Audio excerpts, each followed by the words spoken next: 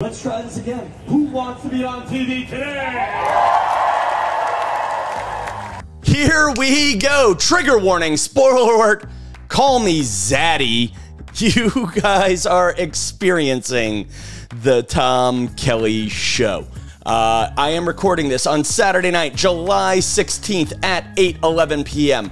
I should be out headlining at a fancy comedy club, but I'd rather do a podcast with you guys right now. Uh, there is so much to catch up on. First, I called myself a zaddy, Z A D D Y. Uh, a zaddy is a sexually attractive man, especially an older one who is fashionable and charismatic. Uh, I got the word from an article that uh, our comedian friend Hannah Berner wrote uh, in one of them fancy Elle magazines. I don't know, whatever it was, but she wrote about her husband was a zaddy. And folks, I am feeling zaddy-ish. That's why I'm wearing the blazer for you. Uh, and you know, you guys probably can't see it, and especially if you're listening to audio version, you really can't see it. Uh, I have like a pre-zit on my nose, so my nose is kind of like. Uh, it's kind of bubbling on, I guess, the right nostril. There's a zit that will pop big time tomorrow. So right now, because I kind of like have this nice tan and a nice blazer on, I don't really look like I have a zit that's going to pop. Instead, I kind of look like the drunk uncle who just went three too many. And I, am somewhere, I think the Blazer puts me in the fun drunk uncle mode where it's like, hey, I love you kids, as opposed to angry drunk uncle mode, which is always like, ah, listen here, your, your, your life is pop, your life is crap. Uh, and yes, I am impersonating real drunk uncles there. Uh, but you are experiencing the Tom Kelly show. So much to catch up on. I made a list. Um, I have today on the show uh, things I don't want to hear from beautiful people. Uh, we have signs you're having a 2022 moment. Uh, I have an update on uh, the screaming I was hearing behind me on the brick wall in my apartment. Uh, and I'm going to start with an update on uh, One Republic at Good Morning America and I guess my own stand up comedy audiences last night. Uh, folks, I mean, you guys have taken the roller coaster with me. Uh, uh, I don't know if doing the Good Morning America concerts is really a step forward in my career, but it is a beautiful step backward to things that I love. Uh, it's like going to summer camp with my favorite crew guys and girls.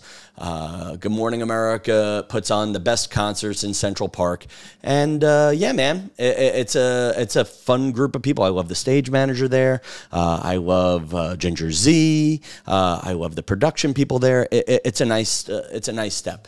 the band yesterday was One Republic, and man, they they attract a fun, positive crowd. Uh, what was nice about the One Republic crowd was they weren't just there for One Republic. They also played ball on the TV things. And, uh, uh, you know, sometimes, uh, you know, yeah, that's the right way to say it. They kind of participated. My favorite audience member of the day was a seven year old boy named Jack. Um, and, and, for those of you who have uh, seen me do warm up before, uh, the difference between warm up and real stand up is I find for TV audiences, you know, you could do your jokes, but then if the audience comes back, your jokes are blown. And that's going to come into play later in this story. Um, and then the other thing uh, is, uh, I think with warm up crowds, and I think this is the gift of my stand up, is uh, I'm good at creating moments that make you feel like you are in the moment, that this moment is special, that it's not just a show that's happening around the country, you're in on something special. And the way I do that is generally finding uh, an, a moment an off camera moment we can all unite behind uh, or a great audience member. And you know it's a lot of like fishing. It's a lot of deep sea fishing uh, those moments. So today that moment was a seven year old kid named jack. Jack knew all the lyrics to a couple of one republic songs uh, and this is jack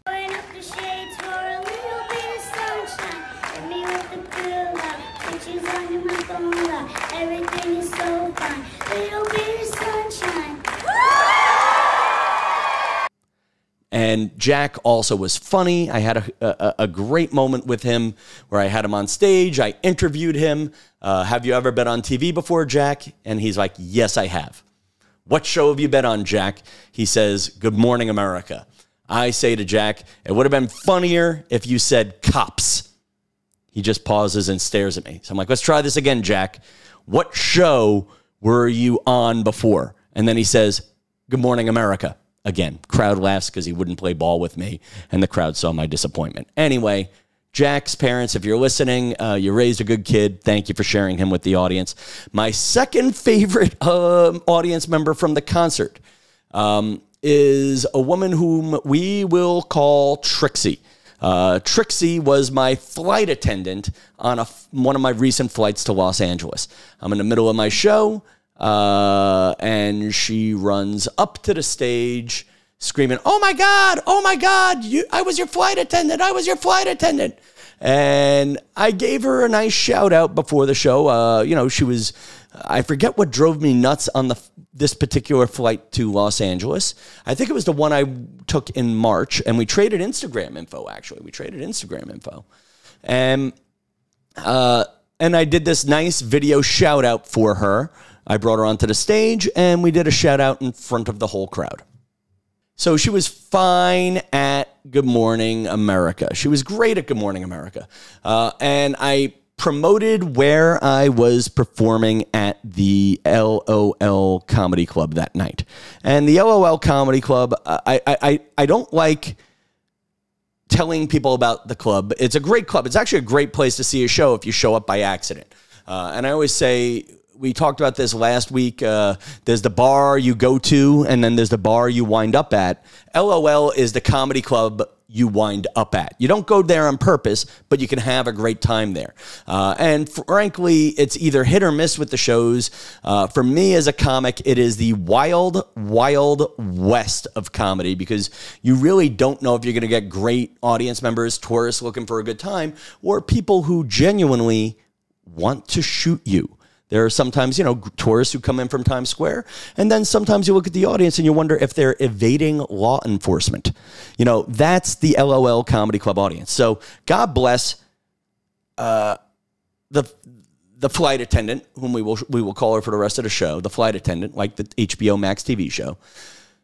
Flight attendant is in the front row of the show, and she, uh, as, you know, ladies and gentlemen, Tom Kelly. I walk onto the stage, and within ten seconds of me being on stage, she rushes the stage and hands me a cookie and a sack of nuts. And it turns out she was just talking during every comedian's set and did not get the hint. And I guess I sort of mentioned this thing about repeating a joke or whatever. Um, I felt I was, you know, I repeated a joke that I've told a million times. It's viral on my TikTok. Uh, the joke is uh, I went to college in Connecticut. You ever hear of Yale? Long pause. No. Well, I went to school down the block from there. Quinnipiac University. Joke went viral on TikTok. And listen, especially when you see me do stand up, I'm always kind of crowd surfing and I go to the oldie but goodies when I feel I need them. So this is a moment where I needed an oldie but goodie, and I have her audio, and I'm putting on the headphones right now so you guys can listen to me listen to this. You guys can watch me listen to this and react to it with me facially. Uh, I recorded it with my iPhone, but I did not record the video. I just have the audio. But anyway, this is me. Ready? Let me just hit the little thingy there, and it should come up now. You know what I love? Like, there's like a pause when I make fun of her. She's like, "She might kick your ass, sir." Thank you. I like you're 20. You go to college? Yeah. Yeah, I went to college too. You ever hear of Yale? Yeah, well, I went to school right down the block. Don't beat me to the punchline. Now I don't like you. No, now that's asshole. Stop. Okay. Uh, you know what? This is why I don't tell people where the fuck I'm working. Um, I mean, you know what's funny though is it's bad enough the cops are here and it's my friends who are harassing me. Um, Sorry, baby. welcome to New York. All right. Tell the same joke twice in one day. Just Says the woman who gives the same flight attendant speech three times a day on the same plane. For the same woman who puts guys who look like him in the emergency exit row. They look like, like Yeah, so anyway, she's not getting the hint to shut the hell up. And the worst part is, she follows me off stage. I sent her the video that I just showed you guys, and she still didn't get the hint. I hope she was really drunk, but it's just one of those things where, you know, uh, you know, uh, just took the wind out of my sails. Uh, and then the other comedians are all busting my chops because they're all like, Tom, you told that person to come see you here? I mean, actually, my friend Francisco Alderondo was very charming about it. She was good hearted. She thought she was just part of the fun, but she wasn't getting it, even when I specifically told her, please shut the hell up. Uh, so she was good hearted, blah, blah, blah, but my least favorite, er, you know, making er face people. Uh, and, and listen, when you get into that, though, of Tom, why don't you like it when your friends come to see you do stand up? Because again, it, that's the moment right there. To her, I was not a comedian. To her, I was just the guy from 36D, which is the seat I was sitting in, not my boob size. Anyway, there you go. So I thought that would be a good moment of a good behind the scenes moment of where I'm at. Um, I'll tell you this. Uh, I was listening to another podcast with beautiful cheerleaders uh, and beauty queens. I lo- and it's funny. People, you guys bust my chops. You're like, Tom, what do you love beauty queens? And I'll tell you something. I, I, my cousin Joe said something like this to me once, and I, and I and I think it's how I feel about beauty queens. Is uh, I I celebrate the winners and I identify with the losers. I really do, especially with beauty queens, because it's like a year of hard work. You have that big moment, you put yourself out there, and you either got it or you don't. You know, like out of Miss America, there's one winner with a crown and 49 losers, 49 good looking losers who have to go back to their home state. You know, I don't know, but I, but anyway, what was funny was I'm listening, and I'm not going to name the show right now uh, because, uh, I don't know, they might think this is mean, but I don't think this is mean, but I do think this is mean, but I want to say it anyway. I was listening to a former beauty queen talk about how her mom told her every day that she was beautiful on the inside. And that's just not something I want to hear good looking people talk about, okay? All right. Being good looking on the inside is my thing, okay? If you are just as good looking as me on the inside, if you are just as beautiful as me on the inside, what do I got, baby? I got nothing. All right. You know, I want to hear good looking people talk about, I don't know, how it's so hard that they're good looking, that they have axe murderers showing up at their door. I want good looking people to talk about things that make me not want to be good looking. Okay. I grew up with a lot of insecurities, people. All right. Uh, I, I, don't need like I, I, mean inner beauty matters more than you know like I mean they, ah, like I don't need to see outwardly people like if inner beauty really married that that that that, that. see what about stuttering outwardly stuttering right there okay if inner beauty really mattered beautiful people Okay, if inner beauty really mattered, you'd see a lot of outwardly beautiful people who are beautiful on the inside dating some inner beautiful guys who are outwardly ugly. Am I saying that right? I don't know. Uh, uh, but I have my list of things I don't want to hear good looking people talk about. Uh, I don't want to hear that inner beauty matters more than beauty from good looking people. I don't want to hear good looking people say, I don't have to work out. Really? Oh, that's all natural too? You know, uh, I don't want to hear good looking people say, I don't have to wear makeup. And then, you know what?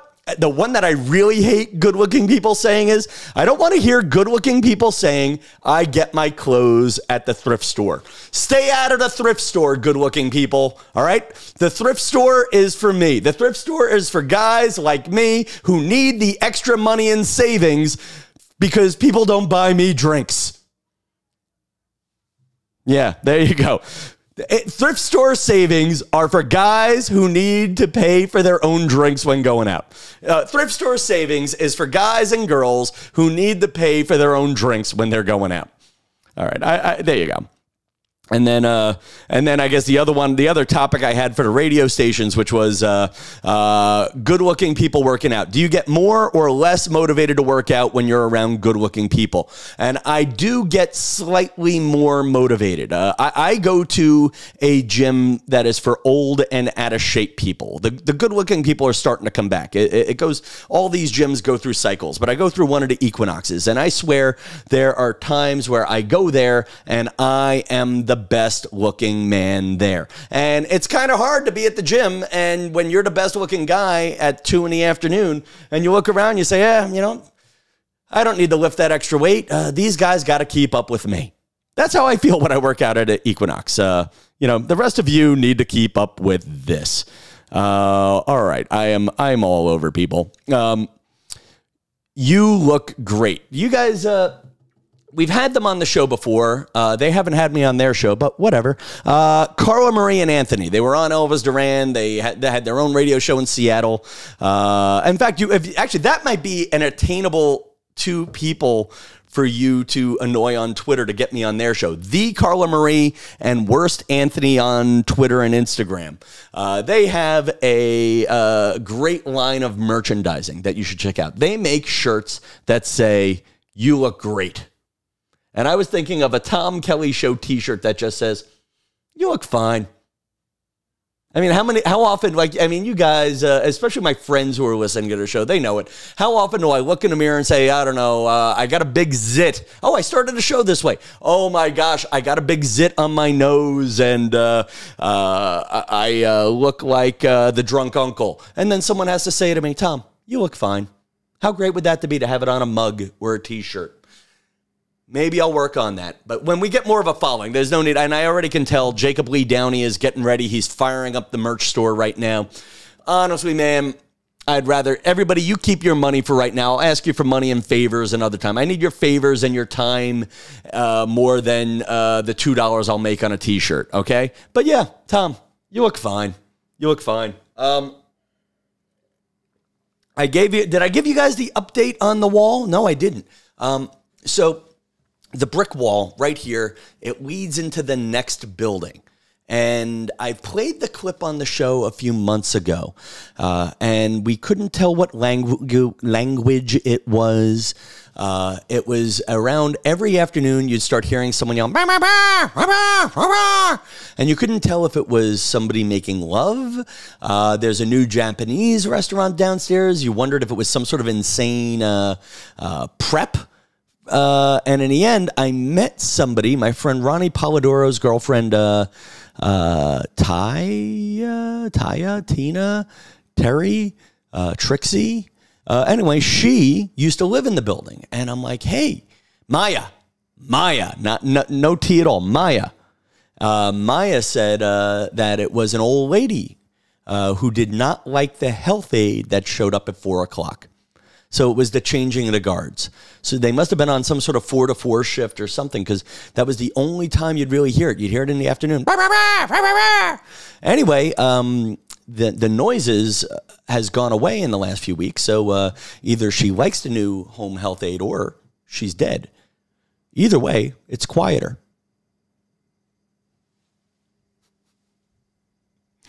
Uh, I've asked this on uh, my personal Facebook and Instagram.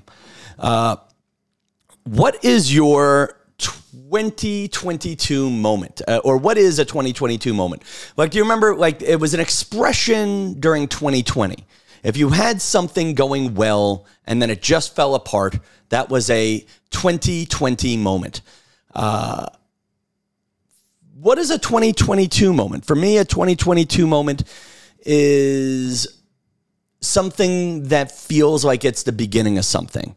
Uh, for me, a 2022 moment means beginning the comeback. For me, a 2022 moment means embracing the adventure, embracing the setbacks, and planting the seeds. And uh, for a great 2023 because I really do believe that uh, 2023 is going to be my year uh, yeah, not bad. We're at 19 minutes. Uh, you know what? I, I, think that's a good way to end on. I think heartfelt is not a bad way to end on. Uh, you know what's a better way to end on, ladies and gentlemen? The magic mirror. We have not done that in a while. Let me celebrate some of you guys who have been supporting the show. Uh, magic mirror time. I see Gail. I see Kathy. I see Melissa. I see Hugh. These are all people who have been interacting with my social media, Tom Kelly Show. They have been uh, sending me notes, Tom Kelly Show at me.com. Uh, who else do I see? I see Brett Walker. I see Matt Mariani. I see Ryan. I see Templeton. Uh, do I really have a follower named Templeton? Um, I see Anne. I see Bridget. I see Lauren. I see Jack Squiccerini. I see Tyler's hot mom. I see Jacob Lee Downey. I see Larry Friesa. I see Carla. I see Incogfredo, Fred the mailman. Uh, I see Andrew Garcia, Broken Hand Lind, and most importantly, I see you. New episodes Mondays and Wednesdays, except for when there's not, but I'm, I'm trying my best to stick with that. And then uh, little morsels of new content across the board at Tom Kelly's show. Thank you guys for being a part of this, uh, and we'll talk more uh, next week. Good night, New York.